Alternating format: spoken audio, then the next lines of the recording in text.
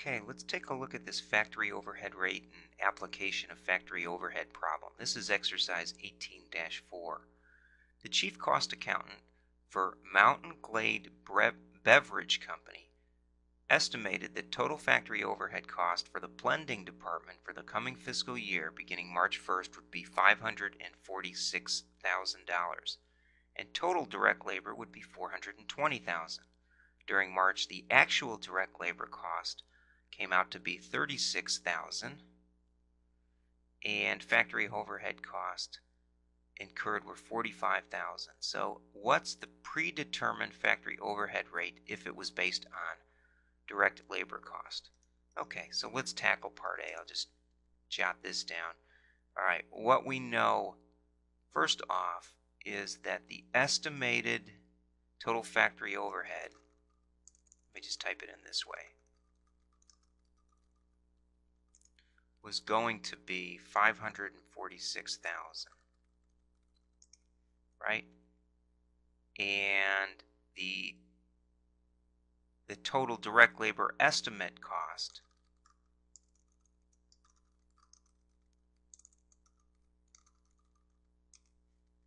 was 420,000, right? So what was the predetermined overhead rate? And you might call this factory overhead rate, uh, but I'm just going to call it predetermined overhead rate. All right, and uh, just to sort of label what's going on here, this is A, this is B, and so this would be A divided by B, right? So we'll just do that. Equal A divided by B, and we come up with a dollar thirty. Or you would turn that into a percentage and you'd say it's 130%. So it's either a dollar thirty for every direct labor dollar incurred or 130% of direct labor cost. Okay, that takes care of part A. B says journalize the entry to apply factory overhead to production for March. Okay, well, we need to debit work in process. Why don't I just make a little journal entry form? Uh, right, why don't we do it right here?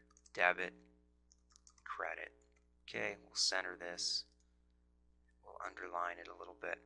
And we'll say, what was the entries for part B? So we're going to debit work in process, the blending department. And we're going to debit that for um, a 130% of the actual direct labor we incurred. So it was 30,000. So we'd take 30,000, $36,000. I said 30,000. I meant 36,000 times that 130%. Right? So if I pull it from right there, we've got the number. And I can just reference that cell. Uh, we'll turn both of these into currency since it's the first time the column sees it. So we've got a debit to work in process and then a credit to factory overhead blending department. Okay, now that is one way of labeling it, and that may be the way textbooks explain it. I also want to point out that sometimes this would be called the factory overhead applied account, and that way you track if you will, a contra factory overhead account so that you can see how much was actually spent in the factory overhead account or accounts. There could be more than one. And the applied account, usually just one account, that shows how much was actually applied. And then when we sum the actual overhead cost with the applied, we get the net factory overhead. Okay, so um, that would be our entry in B to journalize the entry to apply factory overhead to production in March. In C, they say, what's the March 31 balance of the account factory overhead? All right. Well, here's what we know. We know what was actually incurred. We could make a T account, but instead we know the factory overhead normally has a debit account, right? It's, it's a debit balance because it uh, normally incurs spending or expenses, right? The cost of factory overhead. So what we know is uh, the factory overhead actual incurred was was 45,000. And we applied, that means we credited 46 eighths. We subtract that, and we come up with an $1,800. Um, I, I have it in brackets to show that it's negative, but maybe the better thing to do is just multiply this times negative 1. Uh, do this the right way. That was times G18. And I'm going to just uh, multiply that whole thing times negative 1 so that we get a positive balance. Okay, and what we will say is it's a credit balance. Okay, since we really don't have negative numbers when we think about debits and credits.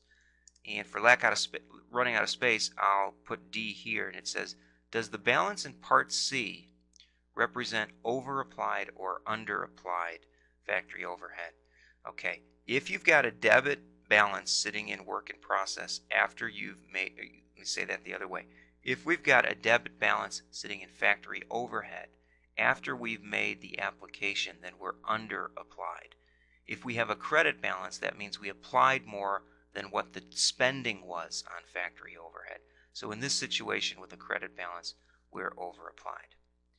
So D, the answer is over applied. And uh, that's this problem, everyone. Thank you.